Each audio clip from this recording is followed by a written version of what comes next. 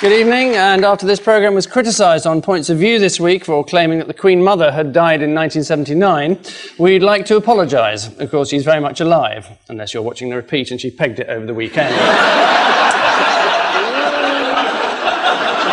in the news this week, there's evidence that the late Alan Clark may have been reincarnated.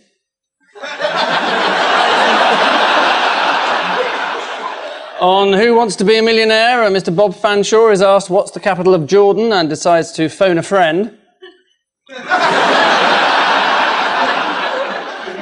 and after three years in hospital, India's number one stuntman waves goodbye to his doctors and nurses.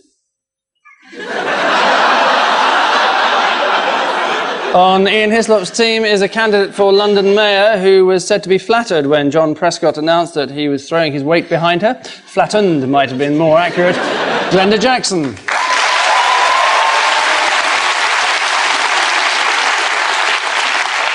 And with Paul Merton tonight is a member of the House of Lords who recently gave audiences on Radio 3 an extended guide to rap, ambient house, jungle, and thrash metal, which was the last time he was asked to fill in during Test Match Special.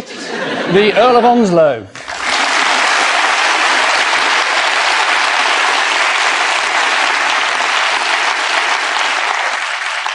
Round one is where it all begins to fall apart. Paul and your lordship, your pedigree chums. Oh yes, this is uh, clearly the uh, House of Lords. Is that, uh, that who's that? Lord That's Irving? Wakeham. Oh, Wakeham. That's Lord Beardy, isn't it? That's, yes. So, what was he protesting about? Oh, he was protesting about the abol- abolition of us. So, what are your chances? Do you think you've got 24 hours, haven't you? Uh, I don't know is the answer. Mm, But it, we will know by the time this goes out. You will so- know by the time this goes out. So look away now.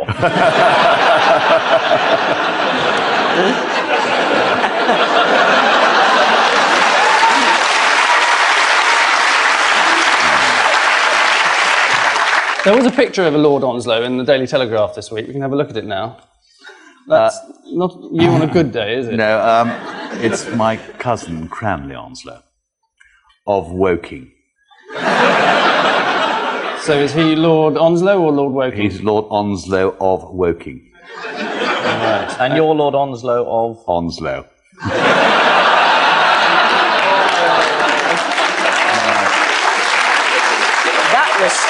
So in a game in a game of poker, does that beat a Lord um, Onslow of Woking? You've always been in favour of uh, reform of the law. I've always been in favour of reform. You of wrote reform. to Margaret Thatcher and said, do it before the Labour Party do it, because they'll do it sillily. Exactly right. Do you think you've done it sillily, Linda? Absolutely not. We've done it. That's the important thing, isn't it? You're going to fill it full of Tony's mates, though, aren't you? Well, I think. Um,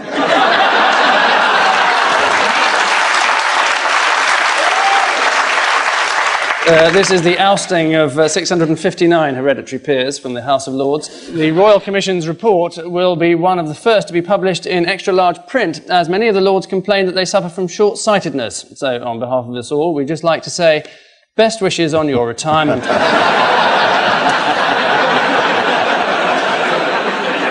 Ian and Glenda. Oh, it's, it's Portillo at Enfield a couple of years ago. Um, this is Kensington and Chelsea deciding who will be their next prospective candidate. there he is, he's back. And isn't um, Peter Tatchell going to stand? He made it. What is it that Tatchell's particularly annoyed about? I know Tatchell's got a problem. He thinks everyone sort of hates homosexuals, and they don't. They just hate Peter Tatchell.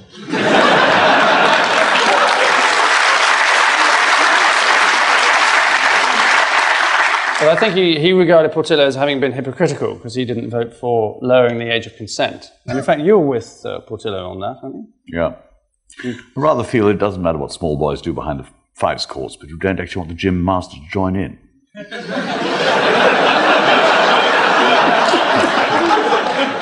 I'm warming to these hereditary peers. It is um, Michael Portillo's return to national politics after securing the Tory nomination for the Kensington and Chelsea by election. Amid accusations of a stitch up, 19 prospective candidates were rigorously scrutinised by the selection committee, but the other 18 failed to give the correct answer to the final question Are you Michael Portillo? uh, Paul and Lord Onslow. This will be a hunting question. Uh, is it about Prince William? Prince William going hunting at the weekend? Or who's that man with his hand over his face? Prince Charles picking his nose. Oh yes, and that's it. What? They went hunting. They went hunting the weekend, and people said, "Oh, you shouldn't go. You shouldn't go hunting." You're a member of a hunt, aren't you? I hunt, yes. Which hunt are you a member of? I, but I hunt the ferny. And that was originally part of the Quorn hunt, was it? How did you know that? Uh, researchers told me. I thought so. yes. That's a meat substitute, isn't it? yes. Quorn, yeah. Yes. What has struck me is that uh, at the turn of the century, um, the Church of England was pro foxing, fox hunting and anti buggery, and it's now pro buggery and anti fox hunting.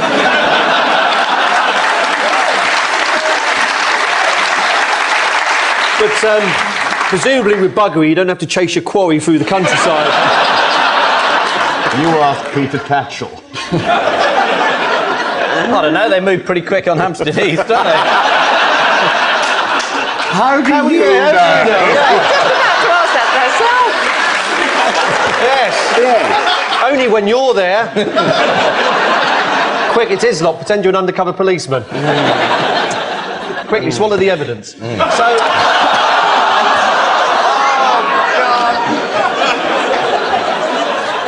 But who is it that uh, your leader has blamed for blocking the anti-hunt bill?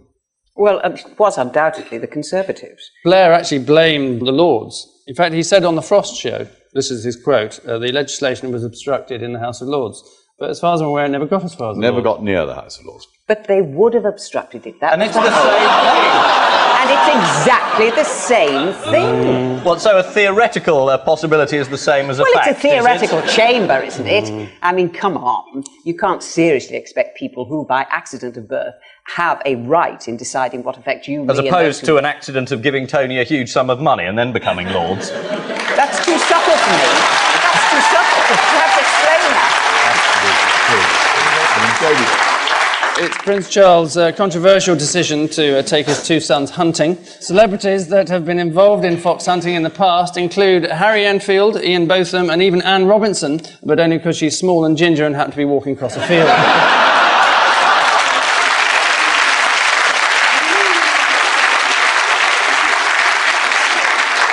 and finally, Ian and Glenda. Oh.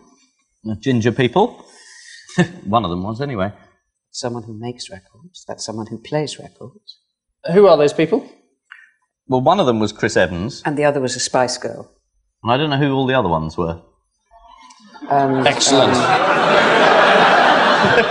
Don't laugh. I thought that's what they were supposed to do when they came here. Oh my God! You see, they take over everything. No, it was Geri Halliwell. Yes. And she's Ginger Spice, isn't she? Or was, yes. Yes. There was uh, uh, Baby Spice. They both got a record out. Yeah. Oh, of course they have. Yes, they have. Are you aware of, of Baby Spice, of Emma Bunton? You're obviously not a fan, but you're aware of, uh, No, I'm not. I must be of honest. Of her existence, No, I right? didn't. It I might be didn't. worth you becoming aware because she is a constituent of yours. It, in that case, don't worry.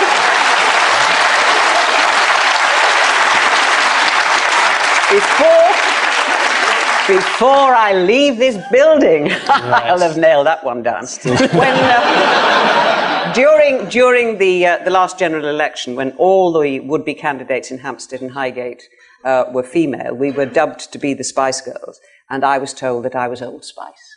Better than being waste of spice. You weren't standing. So, uh, Lord Onslow, Spice Girl's a bit tame for you. I, I think they're totally delicious. But you, of course, are uh, quite a well-known DJ, and we've got a clip of you on Radio 3, and we can hear it now. Good afternoon, ladies and gentlemen. It's time to get tripping with the funkiest show you will ever know. BBC Radio 3. Me, Lord Onslow, with another edition of Super Tunes, the show with the sounds of the street. oh, I know. I've never heard that.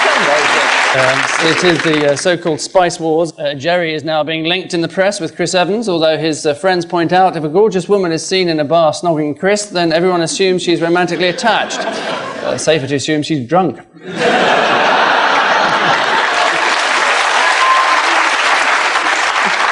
So uh, at the end of the uh, first round, it doesn't take a genius to tell you that the scores are four each, but I'll tell you anyway, the scores are four each.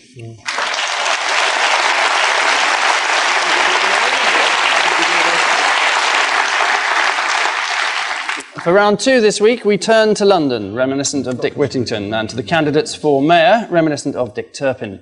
Uh, for it's uh, time to unveil our superannuated digital laser enhanced scandalometer.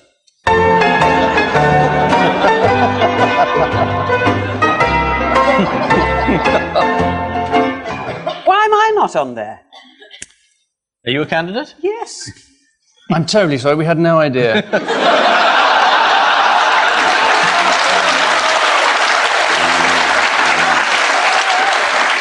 Ken Livingstone, uh, Frank Dobson, Jeffrey Archer, and Susan Kramer, the only four serious contenders for the mayoral election. when the music stops on the candidate's head, it's our panel's solemn duty to identify the scandal associated with them. Uh, so, Ian, let's see who's on the spike.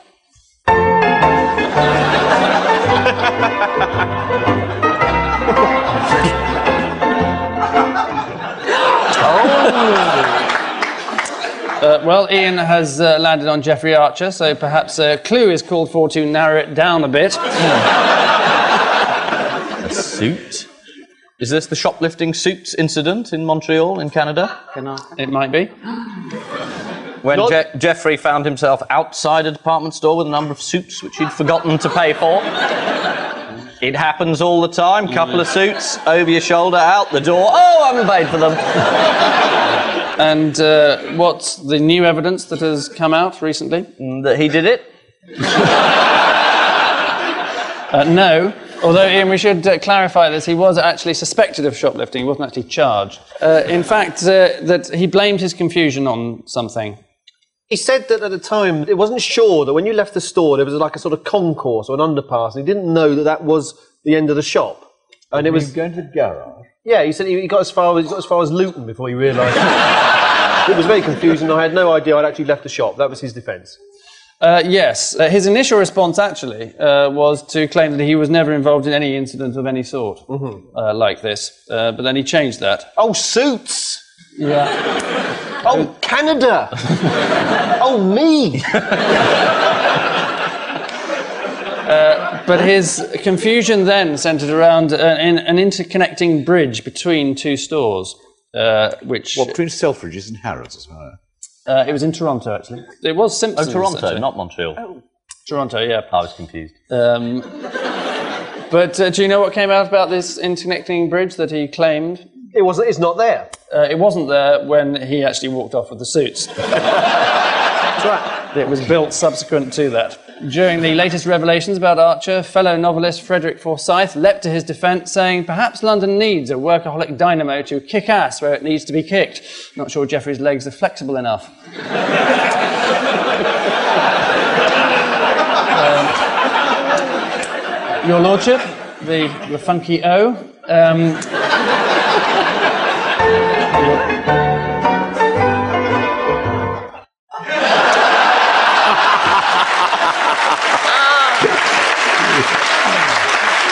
So I think a clue, all too necessary Right, once okay. again.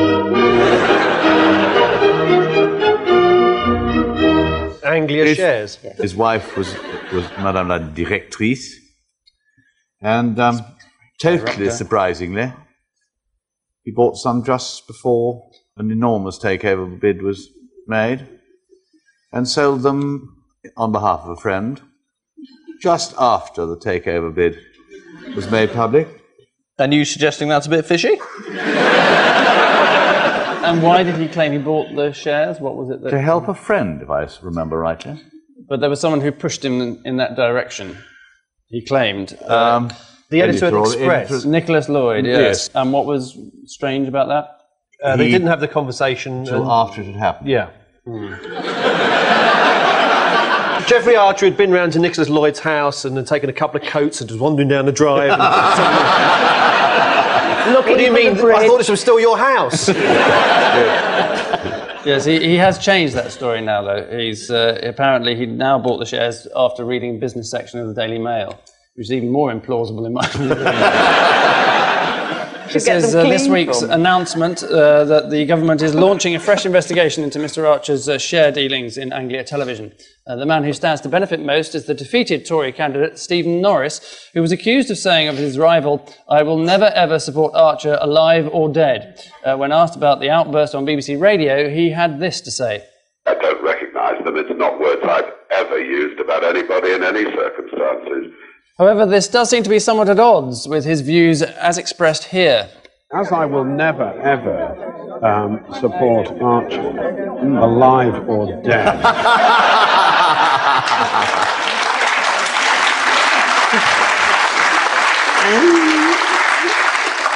Okay, Glenda?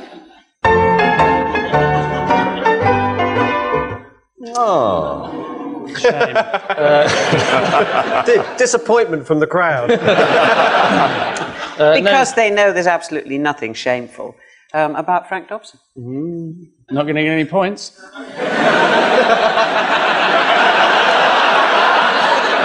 What about the duplicate letters? What duplicate?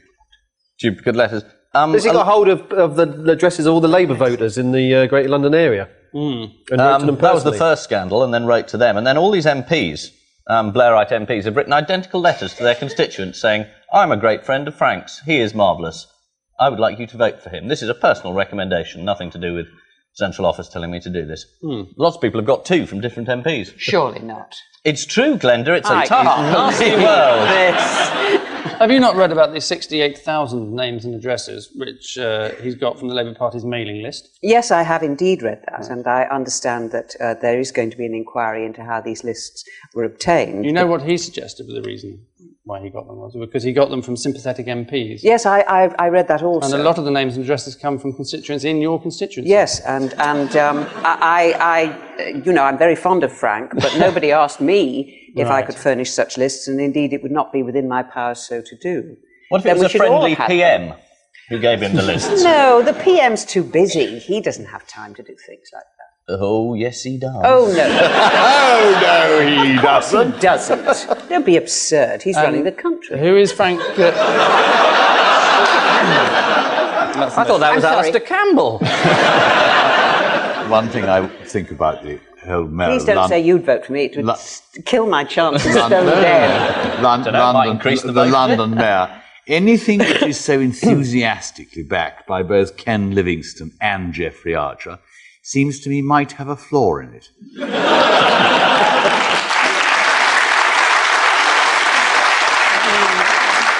and uh, finally, in this round, Paul.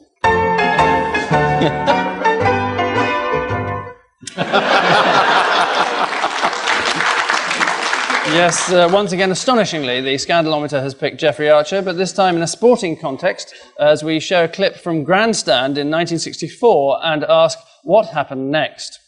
They've switched. I think Metcalfe's on the outside and Archer on the. Yes, Archer caused the break and it's Metcalfe on the outside. They've switched their positions. Is this now a, a, an obscure Olympic sport running like a big girl's blouse? They don't do, they don't do it anymore, do they? What happened next? Jeffrey Archer again, sort of like he, he full start. He's weighed. He's got a couple of suits with him, and he's, he's thrown out. He's thrown out. Right, okay, uh, let's have a look. So it's Cook, Archer, Atkins, Metcalfe. And this time there. Oh, another fourth one. And who's caused it? Now, this is very interesting. It looks like Archer, but I'm not sure that Cook wasn't there too. What do you think, Peter? Well, certainly Archer ran before the gun there. The recall was justified. He's been responsible for two, and on the rules that merits um, disqualification. So there we are, that strange feeling of deja vu. Two false starts leading to automatic disqualification, but for an extra point, Paul, what happened next?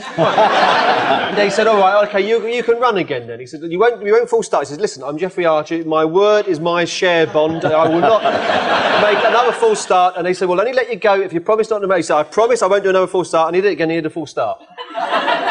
okay, roll VT. Cook, Archer, Atkinson, Metcalfe, and this time it's all right. And Cook's quickly into his stride. Metcalfe now beginning to come through. Cook's in the early lead easily. Now Archer coming through to challenge him, and Metcalfe too is going to be on the tape very quick. Cook coming through, and Archer, and Metcalfe on the tape. Metcalfe on the tape from Archer and Cook. I think Oxford had a clean. Catch him. That's the bloke who's got our suits. Mayoral candidate Jeffrey Archer, they're coming a fully deserved second in that race, uh, so he knows how it feels already. Jeffrey Archer is immensely entertaining. I think he should be Lord Mayor of somewhere. Not London, because I mean, but you know, Paris or something. But I mean, So are you going to join his campaign? yes. Okay. What we should do is play a trick on him, right? Hmm. When, when we've had the election, tell him he's won. And the next day, sort of say, you know, go through London for an open top bus, and then the next day, everybody hides. There's loads of trees in Hyde Park, hide behind them. And shout out Tosspot. He looks around, there's nobody there. That's what he should do. Which uh, running battle uh, leaves, well, uh, Paul and Lord Onslow uh, in pole position, leading as they are 9 7.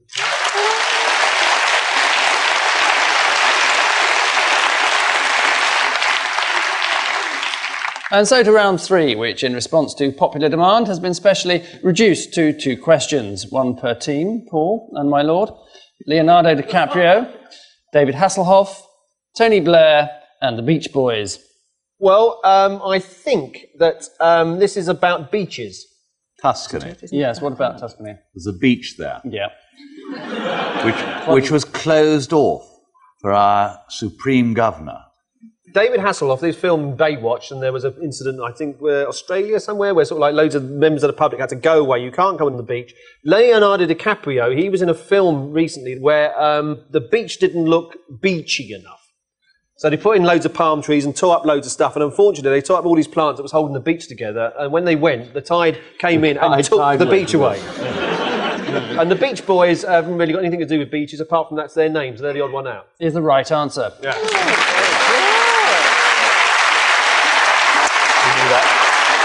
Did you know that? Yes, so the answer is that they have all inspired beach protests except for the Beach Boys. Uh, Leonardo DiCaprio was paid uh, $20 million for his latest film, The Beach. Uh, not that he let the money go to his head. Just because you're in a hotel, you don't have to pay $5 for a Diet Coke. Just go down the road for a $3 six pack, he patiently explained to his butler. Ian and Glenda, your damsels in address are the Duchess of York, Margaret Thatcher, Mo Mowlam, and Glenda Jackson. It looks as though I'm doing some kind of advert for fire retardant curtains, doesn't it? I've no idea what it is. Um, Is it, um, has the Queen got anything to do with it? I'll tell you someone who has got something to do with the answer. Go on. You. Oh, thi- is this a school question? How do you mean? Well, it can't be a head boy question because they're all females, um, and I certainly wasn't a head girl. Margaret Thatcher probably was. Um, is that? Are we getting warm? You are getting quite warm, yes. Fine. So, um, All the others were head girls apart from you. Yes, you're absolutely right. The answer is that they were all head girls except for, For me. yourself. How Yeah, marvellous. done. Ian was a head girl at school. You were head Yes, girl at yes. Ardingly, weren't you? Where? I wasn't head girl, no. So what's the name of the school? Uh, the name of the school was Ardingly College.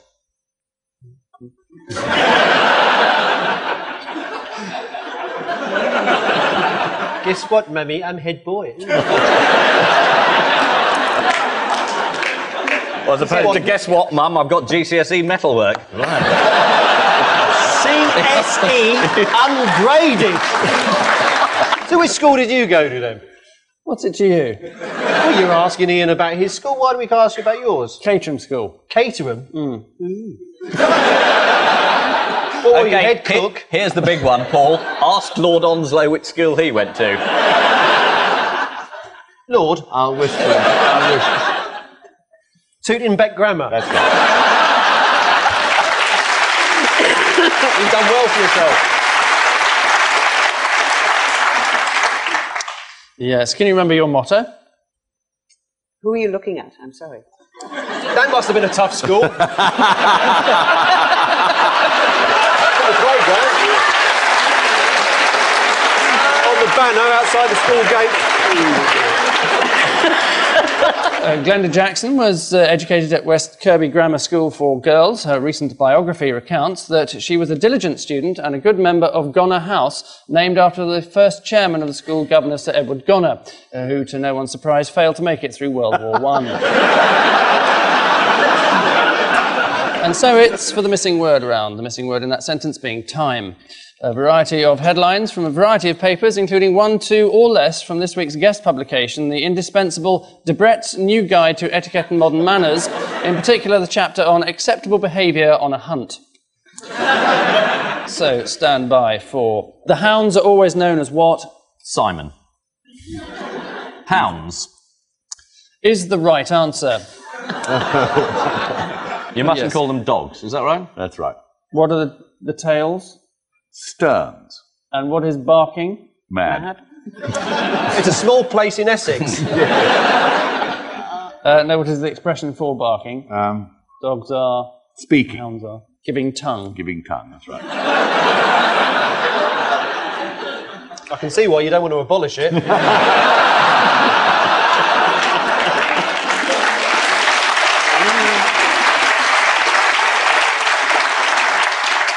Next, the B bosses forgot what? They were paying Desmond Lynam. They forgot. Is the right answer to stop paying Des Lynam. uh, Des switched sides uh, because ITV have more live football than the BBC, and then Cartoon Network have more live football than the BBC. uh, next, if you see barbed wire, cry what? After you, Your Highness. Where were? Where wire Where were? Yes. is the right answer. Uh, although, how do you pronounce where? Where? According to Debrett's, you're supposed to pronounce it war. Uh, where? War War wire. They, wire. they, Debrett's talks the most frightful amounts around spherical hairy objects on occasion.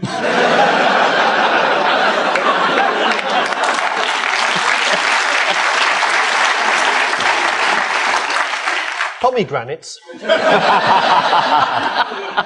Which uh, peer pressure uh, brings us to the end of this barren session, and the final count shows that this week's dodgy stools are Ian and Glenda with 12, while this week's safe seats are Paul and Lord Onslow with 15.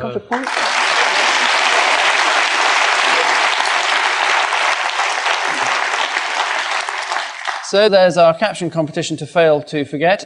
Not wearing a suit today, Jeffrey. Anyone heard of Glenda Jackson? And I leave you with news that after promising that next week's budget will deliver the biggest tax cuts of the century, Gordon Brown double checks his figures. A harsh critic informs Bono that he's done nothing decent since the Joshua tree. And at the Conservatives' annual swimming race in Hyde Park, old habits die hard as Jeffrey Archer takes an early lead.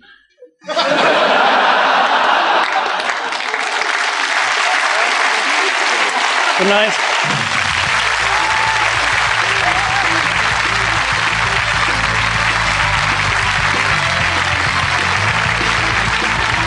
Since the making of this programme, the Earl of Onslow has been adjudged worthy of remaining in the House of Lords and retains his seat. Mirror, mirror on the wall, are there two rimmers after all? Comedy bought Red Dwarf next and game on in half an hour.